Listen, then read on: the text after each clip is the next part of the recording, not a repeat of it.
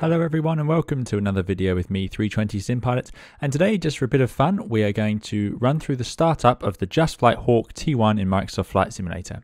I recently put up a preview video just before this airplane launched, it is now out. And in that video I edited down the startup sequence because it's it's got quite a few little button presses that you need to get right to make it work properly from cold and dark. And I said, if you'd like to see uh, a full video, do let me know. And uh, a few of you would definitely like to see it. So we're going to run through it today. There's a few little gotchas in the startup sequence that mean it's easy to actually get it wrong. Just Flight provide a very good explanation in their manual, but I know some people prefer videos for this sort of thing. So that's what we're going to do today. And we'll get it started up here at Duxford, and then maybe we'll go and do a little bit of flying around, uh, a little bit of an air show. As you can see, I'm using the freeware, excellent freeware Duxford scenery on flightsim.to. I'll leave the uh, link for that in the description, and I've got the air show sort of add on for that. And we are using this really lovely uh, Hawk livery included with the Just Flight Hawk. So what we're going to do is start uh, I've simply loaded up the airplane onto the stand uh, in cold and dark, which it does by default in Microsoft Flight Simulator when you load onto a stand. And I'll show you how we're going to get it powered up from this, this state using the uh, inbuilt checklists. I don't know everything. I'm not a Hawk pilot. I never have been. So there are some things I'm not familiar with, but hopefully this will just get it to the point where you can uh, run through the startup as well. Right, let's get started. So this is us in the cockpit. For those of you who've seen my preview video will know that I think this is one of uh, my favorite add-ons ever uh, and it's also one of the obviously the best in Microsoft Flight Simulator. It's really very very good, and it's obviously going to fit into a certain market if you want a little fast, sporty sort of aircraft, and it does that very well. It's absolutely superb. So it's loaded up. You can see it's set up in the sort of the, the airshow config here. So we haven't got a HUD or a GPS. We can change this in the menu, and we've got a little weapons panel here that we're not actually going to use. So it's it's disabled in this config. This is effectively the red arrows config where you have the smoke because this is going to be a bit of an airshow um, today. The iPad is off because we've just loaded up cold and dark. So what we're going to do is power up with the checklist. So this is the airplane completely as it should be. And then you can go into the inbuilt checklists and start with the initial checks. Start with the front cockpit and it's pretty obvious stuff. So we're going to have the landing gear lever down, which is um, pretty hard to see. Uh, selector is called because it's these buttons here.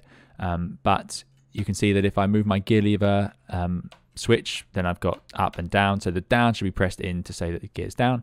Battery switches should be off. They're back here. Battery one and two are both off. So this is pretty normal airplane. It's just a few extra things. MCP coolant should be off. Um, I'm not entirely sure what that one is. Um, if there's anything I don't know, it won't affect us in being able to start up the airplane. So we'll skip that one. Weapons control panel all off, or we don't have that. We have this. I believe that's what, yeah, weapons control panel, that's what it is. MCP, if I click on it, I'm suspecting that's going to be uh, something to do with the weapons.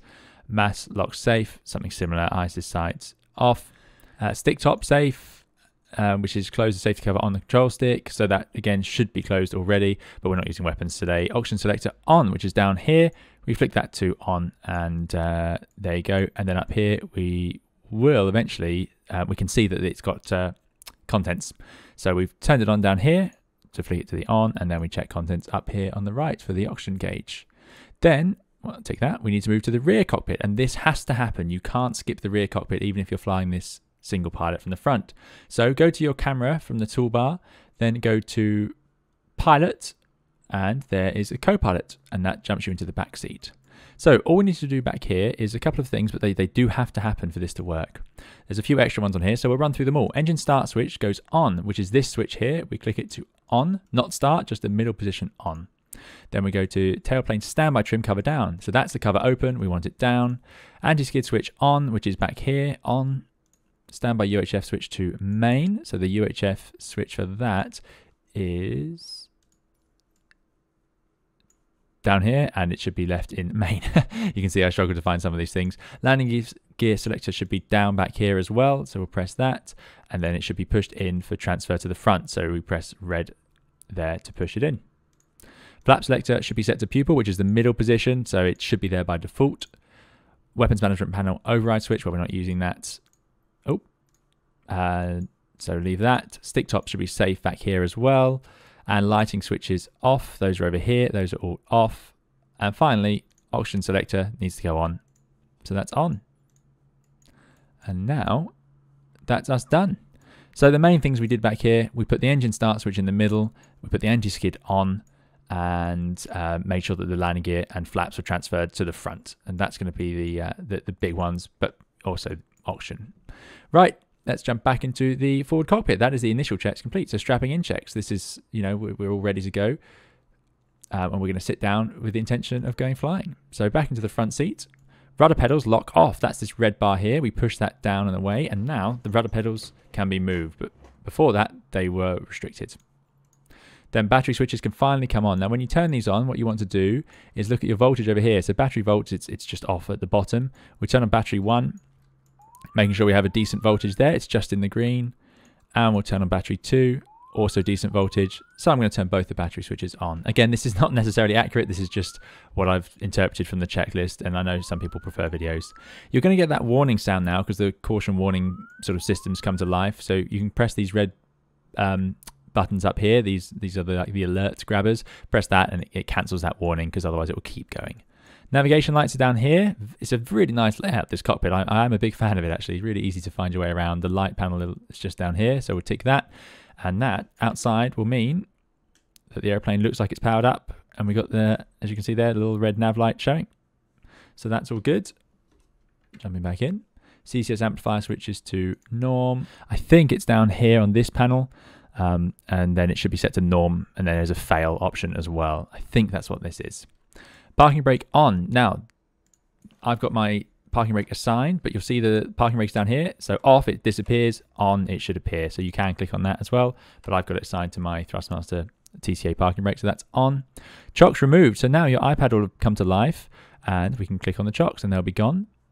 Flags and covers, we'll click on that and they'll be gone as well. And steps removed. So just those three all in a row.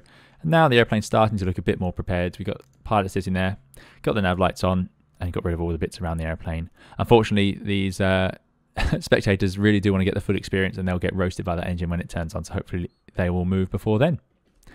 Right, that's it. So next, internal checks. This is where we run through quite a few things.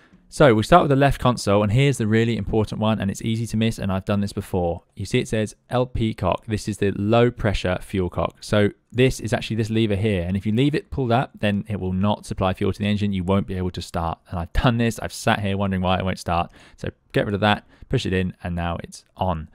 Really important. If you load up cold and dark, it will be off. Engine start switch. So now we're down on this panel. This is obviously the left console. This goes to on position, not start just yet. Fuel pump switch goes on, which is this little one down here. So we tick that. pitot heat stays off because we're not moving. It would just get too hot and there's no point having it on. Tailby, tailplane standby trim is this one. Same as in the back seat. Make sure it's down. Uh, you'll notice that when you lift it up, you can select the alternate. But if you have it closed, it will automatically be in the um, main system. Lift for standby, close for main. So you lift it up and then you would be able to use the standby trimmer and that's my understanding of it anyway. But we're going to leave that there, and hopefully that hasn't moved. Nope. That's our tailplane trim indicator sitting about zero. So anyway, that's closed, which is good. Ignition switch to normal. That is up here. Forward is normal. So we'll tick that. Throttle HP off. So you'll notice if I click this, we're in uh, the throttle moves. But if I click it again, it's sort of locked out. And this is the off position. Quite common in sort of fighter style aircraft. So that's done. Anti-skid switch stays off. We leave that off until we're ready for takeoff pretty much. So we'll tick that. Standby UHF goes to main. That's in the middle at main as it should be automatically. Brake gauges check pressure. That is these two. You've got port and starboard, left and right, brake pressure. Just like the Airbus has that little gauge, which I've talked about in my hydraulics video. Um, this one is sitting here, and uh, yeah, they're both at zero. So that's not uh, not great actually. So they they should be a bit higher than that. But what I've done is by running that parking brake over and over, I've totally um, remove the brake pressure. So what I might do, just for me, is I'll put the chocks back in because I haven't got a parking brake at the moment until the engine starts up. There might be a way to, to run the hydraulics electrically. I don't know. But yeah, so yours, if you haven't run the parking brake like me over and over again, yours should be sitting there with some pressure in them. But I've drained the uh, accumulator, which was over here. So no for that one. Next, we go to the left main instrument panel, which is here. Um, so this is on the, the forward panel.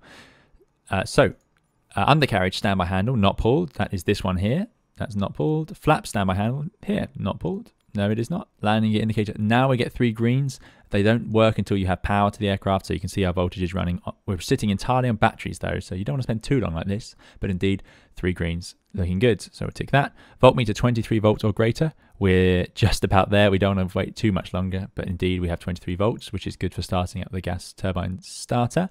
Flap selector up, so it is in the mid position there. Yep, so that is still up. Flap indicator confirm up. Just this tiny little gauge for the indicator, but it is indeed at zero. So that is confirming up. Now we're on to the UHF radio, which stands for ultra high frequency. We don't use this in civilian aviation, but military do.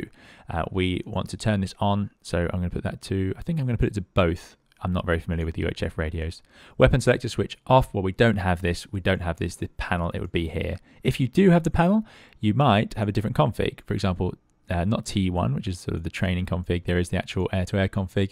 And then you see this. So you'd have weapon selector off, pylon selector switches uh, off, so this is something I'm going to look at in the future, but for now I'm not going to be using it. Um, but yeah, you can imagine you want things off, but we're going to stick with the red arrows and I'm going to get rid of the GPS. So let's have that off. There we go. Great, so UHF is on and we don't have weapons sitting there. So I'll just tick through those. Good stuff.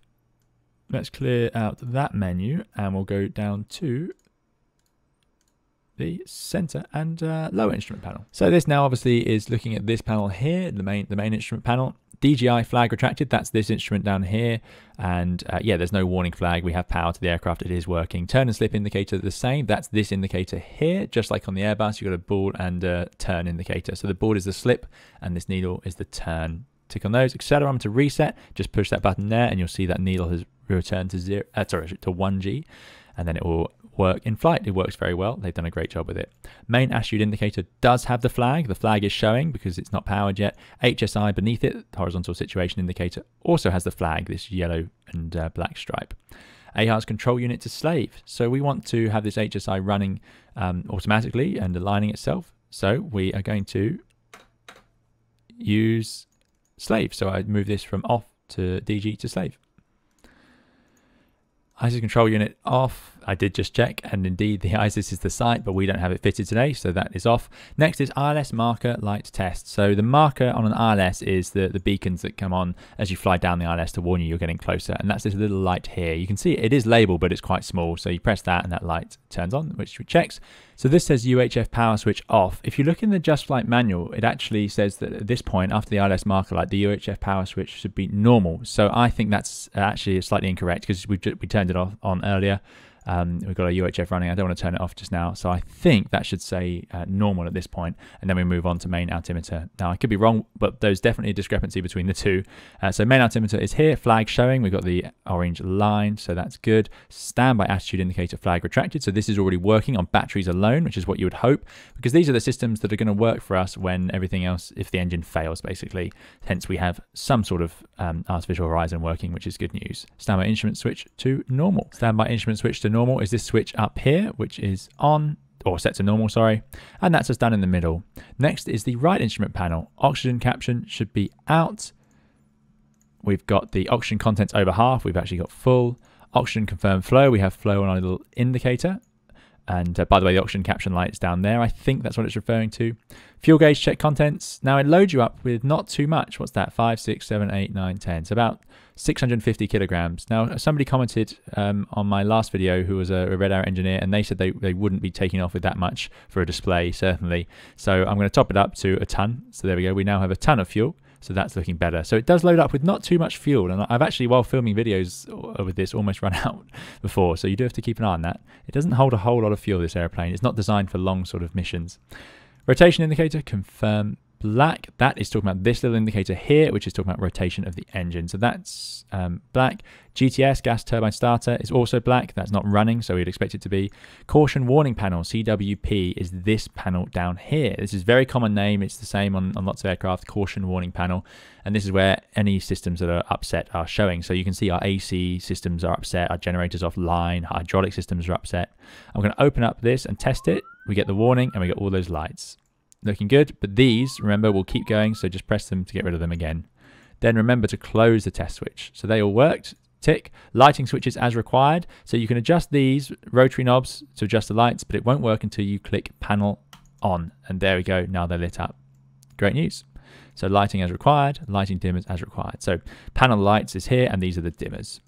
Finally then, right console, we're nearly there, nearly ready to start up. CCS uh, PTT, this is the CCS panel down here. And the push to talk switch needs to be set to norm, which it is indeed. VHF on, VHF is the very high frequency radio, and that's what we use normally in aviation for civilians. So this is currently set to off. We turn it to TR and G. Then it's going to look like a normal radio, as you'd expect. IFR SS, sorry, IFF SSR, secondary surveillance radar, I believe that stands for I, your transponder, needs to go to standby. So that is over here. That's this switch here. And I'm going to put that to standby. And it's going to turn on in a second, run its test, and hopefully we'll see it look like a normal transponder. There you go, as we're used to. TACAN is a, instead of VORs on this sort of aircraft, so you've got a TACAN receiver, you put it to transmit and receive very normal or whatever you want, but that's what I'm going to use today. TACANs are limited in Microsoft Flight Simulator. They don't work fully yet. They uh, they aren't quite as good as they should be. So for now, I, I wouldn't really bother with that. But uh, here's the ILS box. Now this one on as required. So it's currently off. You set it to ILS or VOR and then tune the frequency. You'll notice it is missing a number, so you do have to actually skip a number out. It's a bit confusing at first, but don't forget to select ILS or VOR or it won't work. I've made that mistake many times. Final, final panel then, very simple. Cabin conditioning, normal, set that to normal, and then cab, uh, cabin air temp to auto. And you actually hear the fans come to life in the background. Hopefully you can hear that. Next, is close the canopy. So we're now in a pretty much ready to go aeroplane. Still sitting on batteries though, so again we are slowly draining those batteries down. But we're powered up, still got those chocks in because I still don't have any pressure in the brakes, but you hopefully will. Canopy close, you can just click on the handle and remember to lock it. That's closed and locked. Great, now we're on to engine start. So pre-start, very simple, engine start switch is on. They were on in the back because we put it there and this one is now on. Anti-collision lights red. So go over to your lighting panel and you'll see this little guide. It's a bit confusing, but the switches only move in uh, one axis. They go up and down. So in the middle, they're off. When they're down, they're both red, as you can see there. And then when they're up, they're both white. So we want them down for red at the moment. You don't want white until you're out on the runway. And if you look outside, you can see there's the red beacon on top. And this tells people around the aircraft we're about to start. Sadly, those uh, viewers aren't paying attention to that, but there we go. So we are now red, so that tells people around we're starting. Great, it's time to start up the engine. I absolutely love doing this in this airplane. Really nice start sequence that they've modeled. Really great sound effects. Relight button, press and release. That is this button here on the front of the throttle. This is actually used for auto relighting in flight and all sorts of things, but we press that and you can hear the electronics spool up. Sorry, the GTS start to spool up. That's that little mini sort of APU that we'll then use to power the startup of the main engine.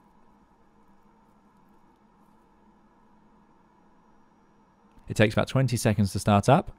And the only indication we get is this little light here.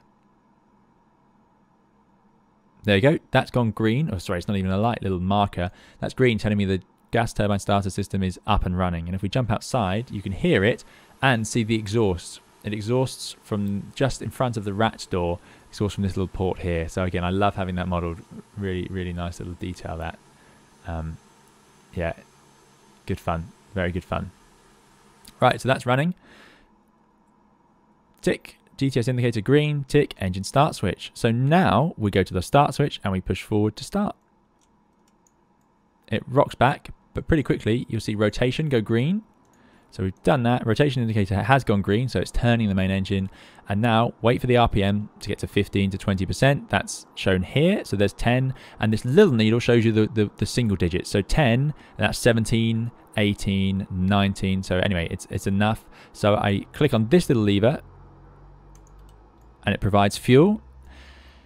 Tick, throttle is at idle. It is indeed, as it should be. Um, and now the engine's going to spool up. So that's all good. So during start, we're going to see the GTS indicator go black. That's because it's going to turn off. It's no longer required. GTS indicator's gone black. Rotation indicator's also gone black. Fire caption is out. We don't have a fire warning. RPM needs to settle at 50% or greater.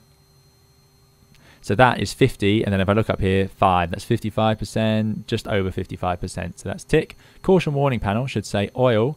Um, sorry, oil, FPR, and trans caption should be off. So they are, those are to do with the engines. And if we didn't have oil pressure, for example, or fuel, then we could have a problem with the engine.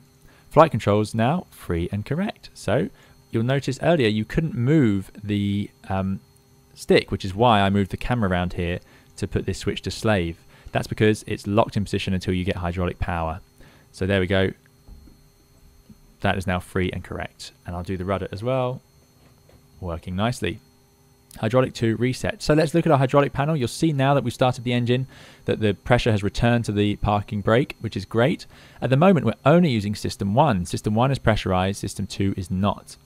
What I'm going to do is get rid of those chocks now because we have pressure in our brakes.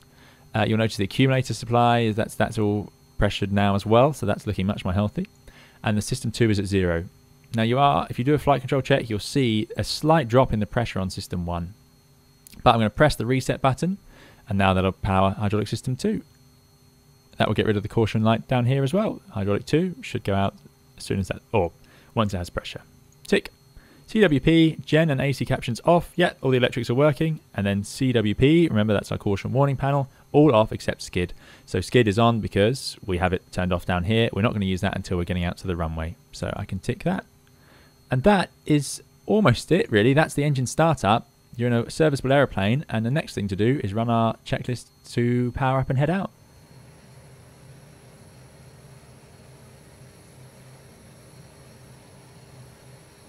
So I dare say this next little sequence won't surprise uh, any of you used to flight simulators. Trims set to neutral. So tail trim is up here. This is obviously the most important one, our pitch trim. So just make sure that needle is set to neutral. I've obviously got my trimmer switch assigned to my joystick. So that's set to zero, which is down there.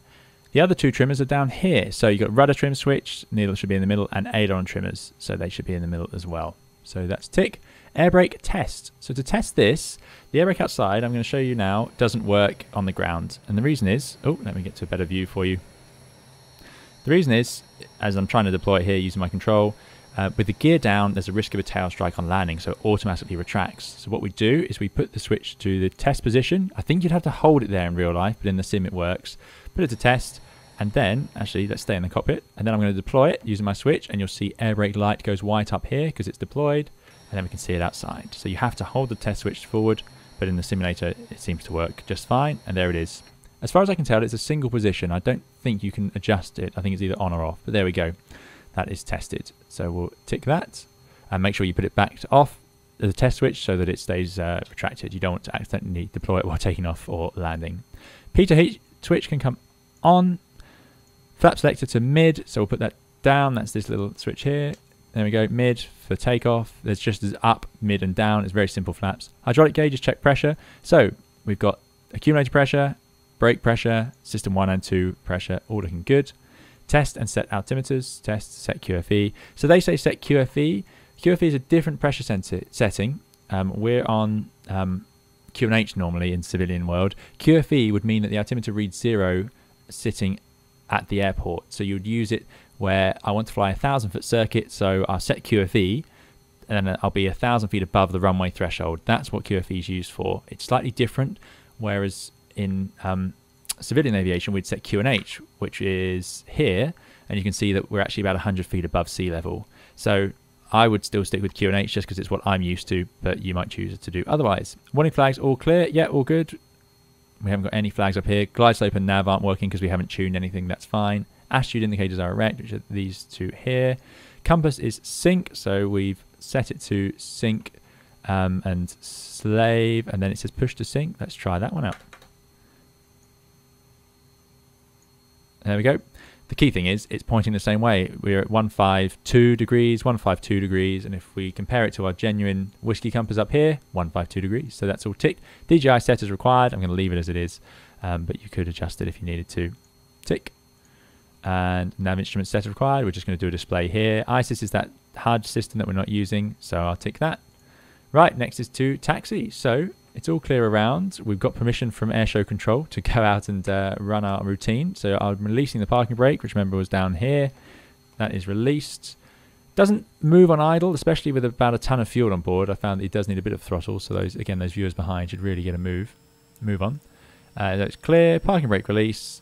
Brakes are test uh, on moving off. So I'm going to just just dabble them. They do work. That's good. So the plane is moving. Tick. Flight entrance and avionics check for correct indication. So this is again very common in aviation. What I'm going to do is move forward, and then when I turn to the right, I'm going to make sure that my horizontal situation indicator and the DG both turn to the right, which they do. That looks good. The artificial horizons stay level. The ball turns to the left, and the turn indicator goes to the right. So that all makes sense for a uh, a turn to the right on the ground, and then you would try and check it the other way if you could. So everything seems sensible. Airspeed indicator is not going to read anything at this sort of uh, speed. Oh, we are going to have a run in with a truck. Next one is before takeoff. So trims set to neutral. They are. pitot heat switch on. It is. Remember that was that little switch down here. Anti-skid switch can go on, which is just this one, which we move forwards. I'm just going to go around this uh, truck. Fuel gauge check contents. We do indeed have a ton of fuel. Flap selector, mid. It is in mid and it's indicating in mid. Landing light on. So that is this little switch down here, which flick up and it says land taxi. That is that beautiful nose lights on the front of the Hawk, which is always good fun. It's so iconic and such a great part of the aircraft to see. So that is now on. Anti-collision lights go to white as we're about to enter the runway, so we'll flick these up. And now the beacon on top and below the aircraft will be flashing so that anti-collision. You can just about see it there, that white strobe. More visible, bright enough to be seen in daylight. Red ones wouldn't be visible from a long way away. Tick. Caution warning panel all off. All lights are out. Takeoff brief complete. Next is the entering the runway checks. Now something I haven't done, I think I must have missed it, uh, flight control check. We did do a full and free, um, but let's just run that again. There's no indications that I found, but you can actually see the trim. So the tailplane, if I move, if I pull up and down on the elevator, it does show its position. So you can get a sense of that. I don't think the aileron aileron one does. No, there we go, and rudder is working. Now I understand the real aircraft doesn't use any nose wheel steering, hence there's no nose wheel steering button or option or anything like that. But it seems to have been added into this model to make it easier to use on the ground. Uh, that's my understanding of it. I could be totally wrong. But uh, yeah, so at low speed, I can turn using my rudder pedal, and it's it's very precise, very easy to taxi on the ground. My understanding would be in the real aircraft, you would use differential braking and uh, rudder and so on, a bit more complicated. Totally possible, but it means it has a, a castering nose wheel, um, which so you just literally use one brake pedal at a time to bring it around the corners.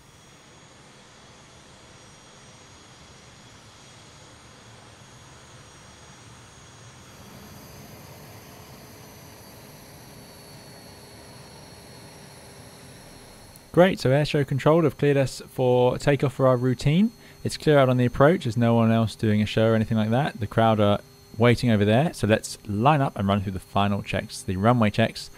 IFF SSR, so our secondary surveillance is as required. Lights, I'm going to leave as they are. We've got the anti-collisions on white, the nav lights on, and the landing light on the front. Definitely want that for the viewers. Then we've got altimeters as required. They're set to QNH, which I think I'm going to use. Mass as required. I'm not entirely sure. Um, WCP, which would be the weapons control panel we're not using. RPM max 104. So this is now talking about the takeoff. So in the Hawk, as far as I'm aware, we can go full throttle. We just stick the throttle right up to max. The limit is 104% with 665 degrees Celsius. So we're going to spool up, hold it on the brakes, and I'm get it to full power before we get going. During the takeoff, we're going to accelerate to about 90 knots. You'll notice as soon as you've got a bit of speed going over the ground, the uh, you can find that the rudder is all that's effective, the nose wheel steering stops working, which is accurate to the real aeroplane. It actually gives you better control than uh, doing it any other way in, in Microsoft Flight Simulator. We all know about the uh, the overly grippy ground uh, friction in, in Microsoft Flight Simulator. Try not to oversteer too much. Right, so there we go. We're on the runway, ready to go. So I'm going to turn on the smoke control myself because I want to use that pretty shortly after takeoff. And then we're going to spool up the throttle, so put it all the way forward holding on the brakes. The brakes are holding. And now we need 104% max. So I've got 100% and then remember the little gauge, 101, 102, 103. And basically it shouldn't go over 104, which it isn't. RPM max 665. Uh, so that's not actually RPM, that's the TGT. But it, you can see it's just below 600, so that's fine. Brakes are holding. So next one is after takeoff. Let's get rid of that checklist. It's time to go and do our routine. So let's get going then. Brakes released. Straight away I noticed that the um, nose wheel steering is not working, which is good. As soon as we reach 90 knots, which is there very quickly, I'm going to raise the nose wheel just slightly off the runway and then hold it there. And then I get to 120 knots there and I can rotate the airplane off the ground. We need to raise the gear and flaps before 200 knots. So gear coming up, positive climb. Accelerates very quickly. There's 170 knots. Flaps coming up now. And what we're going to do is we're just going to head out slightly this way to 1,000 feet, turn back round and begin our routine. Final checklist I suppose we could do for this video, after takeoff checklist, no surprise, landing gear up, flap selector up, and you can see the indication is up down there. Caution warning panel, all off. Tick. Right, straight through 1,000 feet, power back, trim those down, let's go.